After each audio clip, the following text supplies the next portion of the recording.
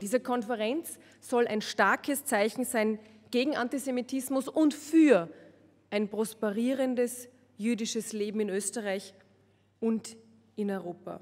Daher werden wir diese Konferenz auch jährlich durchführen. Und unser Ziel ist es ganz klar, eine bessere Vernetzung, ein Wissensaustausch, die Bündelung von Kräften und maximale Effizienz in diesem so schwierigen und herausfordernden Kampf.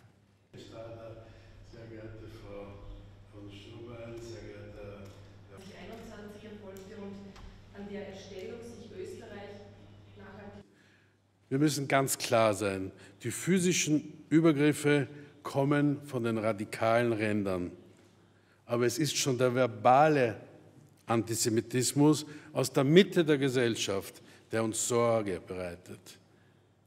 Judenfeindlichkeit beginnt eben nicht erst in der Gaskammer, sondern bei den Verschwörungsmythen, Verleumdungen und Beschimpfungen.